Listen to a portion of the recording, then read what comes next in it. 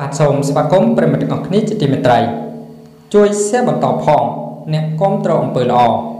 ថ្ងៃនេះថៅកែហាងពេជ្របានទិញម៉ូតូយកទៅជូនអ្នកគ្រូម៉ៅតាមសន្យាហើយយោងតាមកណនី Facebook មួយមានឈ្មោះថា Dana 3បានធ្វើការលើកឡើងឲ្យដឹងនៅលើបណ្ដាញសង្គម Facebook ថាចាប់ពីថ្ងៃស្អែកទៅប្តីអ្នកគ្រូម៉ៅនឹងមានម៉ូតូដឹកអ្នកគ្រូទៅសាលារៀនហើយកុំឲ្យពិបាកដើរឆ្ងាយ ស្បែកជើងចាស់ដែលអ្នកគ្រូធ្លាប់ប្រើឆ្លងកាត់ស្ទើរលួយនោះខ្ញុំបានបដូរជូនគាត់ហើយបាទអាចចូលរួមត្រេកអរផងប្រិមិត្តបាទបដូរទាំងអស់តែម្ដងបាទ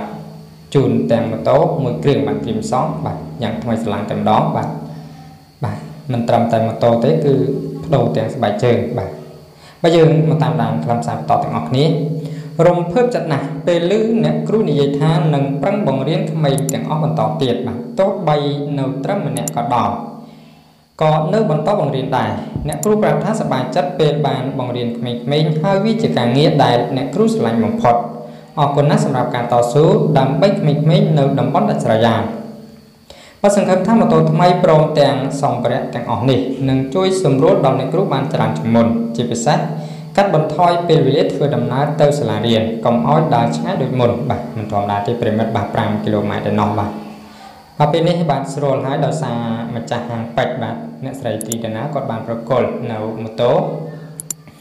មួយគ្រឿងបាទយ៉ាងថ្មីស្លាំងតែម្ដងនិងព្រមទាំងបាទនៅមានច្រើនទៀតបាទមិនបានរៀបរាប់ទេ